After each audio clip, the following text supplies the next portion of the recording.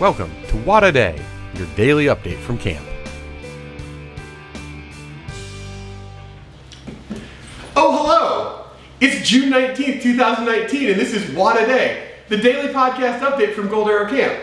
I'm Soy, and I'm here in the Wellness Center with Egg. Hi. So, Egg, you've come to camp for six years, Seven. seven years, like I said. Why do you keep coming back to camp?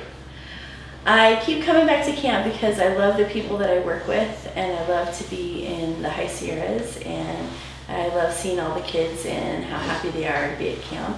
They've waited all year for this and um, I think it's great that they can really experience such an amazing environment and all the activities that they get to do and as a nurse I get to use my skills in a different environment and I love being here.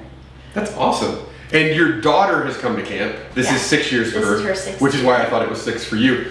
What's her favorite part of camp? Um, her favorite part of camp is the sausage in the morning. She'll tell you. Totally fair, For honestly. sure. Um, and she loves arts and crafts and she loves the horses. And um, she also likes stand up paddling. If, if she could just live at camp, would she live at camp? She would live at camp every day of her life, and it wouldn't even matter if I was here or not. She would live. She talks about camp 360, but 358 days of the year when she's not up here. It's good math. Yeah. All right, so that's Egg, and she's here in the Wellness Center. Just a quick update for our Shaver specialty campers. Today, for lunch, deli sandwiches, chips, and a salad bar. They're having pizza for dinner. Right now, as we record this, 75 and glorious sunshine on the island.